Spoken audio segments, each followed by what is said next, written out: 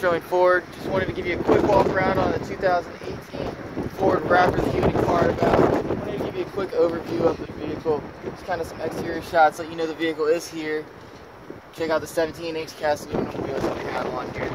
This is a beautiful new 2018 Raptor. This does have the 802 luxury package on there. Already comes with the Ford spray-in bed liner as well as the bed extender.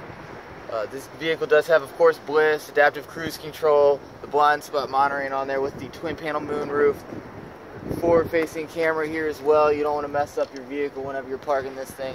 Definitely a large vehicle. You want to make sure that you're staying protected and staying covered with it. If you have any questions, please feel free to give me a